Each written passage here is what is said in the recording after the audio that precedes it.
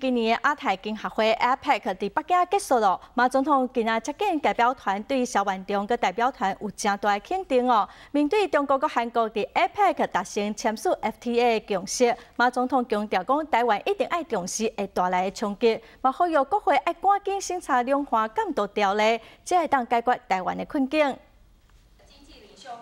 马总统十四号嘛接见代表团，并且高度肯定代表团的成果，都是对中韩要签订 FTA。马总统表示，未当无设计，嘛呼吁立法院对两方监督条例爱关心审查。大家应该赶快来审查，只要开始审查，就不会有黑箱了。拖延的话，真的是叫人怀疑，不知道他们怎么看待。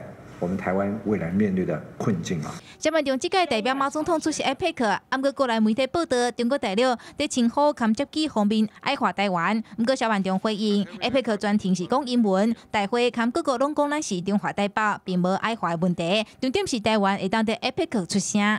从我小万长先生，我当然不满意，但是当我进去是强力台北在发言的时候。我觉得跟其他的经济体平起平坐。